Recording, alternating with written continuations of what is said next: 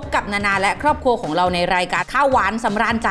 หลายๆ คนบอกรักเป็นคำพูด แต่เนี่ยในฐานะที่เราชอบทำอาหาร เราก็สามารถบอกรักด้วยอาหารอร่อยๆ ของเราได้เช่นกันนะ แต่ไหนๆก็วาเลนไทน์ละ เรามาทำเกี๊ยวซ่ารูปกุหลาบดีกว่า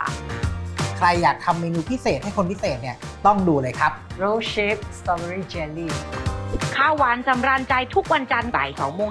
55 ทาง Workpoint TV หมายเลข 23 นะคะ